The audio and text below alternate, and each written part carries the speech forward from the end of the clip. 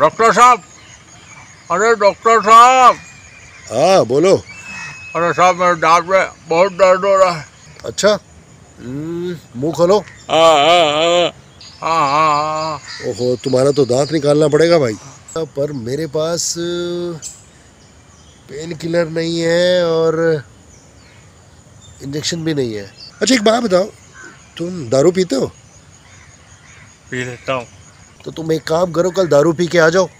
तुम्हें दर्द भी नहीं होगा। जी जी जी जी कल आता हूँ कल आता हूँ। डॉक्टर साहब देखो मैं आ गया पी के।